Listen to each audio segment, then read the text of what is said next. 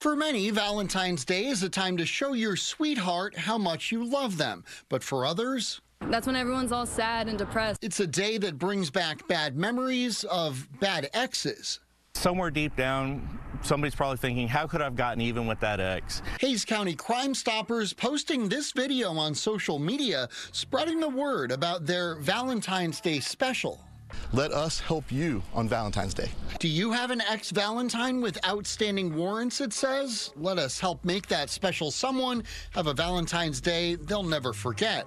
It starts with a set of limited edition diamond studded platinum bracelets, free chauffeured transportation, and a luxurious sporty ride, stay in luxurious five star accommodations, even a professional photo session.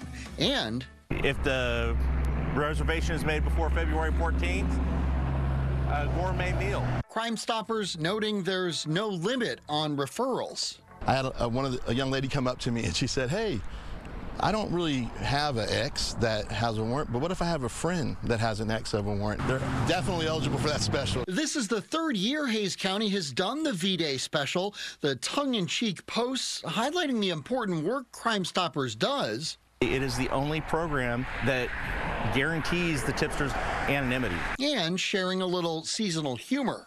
My ex called and said, "You're talking about me?" I said, "Absolutely not." but behave yourself. We spoke to some people here in downtown Buda, and we got some interesting responses as to whether they'd be willing to turn in their ex on Valentine's Day. Absolutely. You didn't even think about that. Yeah, not even a thought. It's kind of the perfect uh, anticlimactic romantic moment, right? Would you do it? If we left off on good terms, no. If he cheated on me, I'm sending him, he's out. I gotta do what I have to do. He's going to jail. He's going to jail. But even those willing to send their ex to the slammer, still not giving up on love this Valentine's Day. I'm single, ready to mingle, get me a boyfriend. Without a record, preferably.